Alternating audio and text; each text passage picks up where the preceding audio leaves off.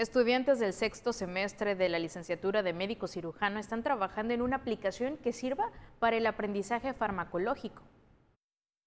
Cinco estudiantes de sexto semestre de la División Académica de Ciencias de la Salud de la Universidad Juárez Autónoma de Tabasco están trabajando en el desarrollo de una aplicación que sirva para el aprendizaje farmacológico. La idea surgió cuando se toparon con temas que para ellos era difícil de memorizar, por lo que planearon formas de aprendizaje que sirvieran para hacerlo más fácil y dinámico. Comenzó como un proyecto estudiantil de la licenciatura de médico cirujano y se convirtió en un desafío por concluir, llevarlo a una plataforma para tener un alcance masivo.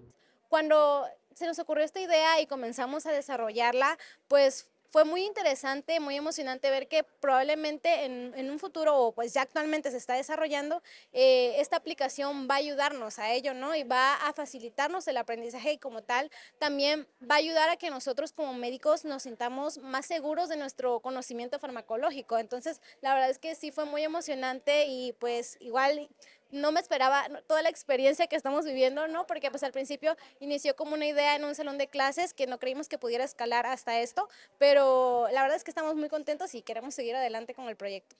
Drug Genius es una plataforma dirigida a estudiantes del área de la salud, así como docentes y profesionales, y que tiene como objetivo desarrollo sostenible, la salud y bienestar, educación de calidad, trabajo docente y crecimiento económico. Pues como estudiantes de medicina, pues ya pasamos por esta etapa de estudio farmacológico y pues es compleja.